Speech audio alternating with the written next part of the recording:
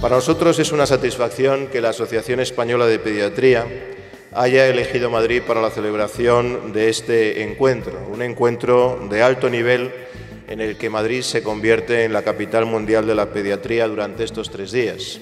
Somos la única región de España, además, que realiza todos los tipos de trasplante en niños y es la región que más trasplantes infantiles realiza. El año pasado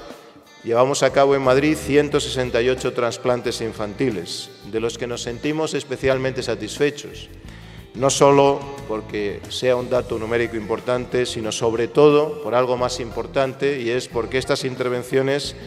han permitido a muchos niños recuperar sus vidas, pero sobre todo también a sus padres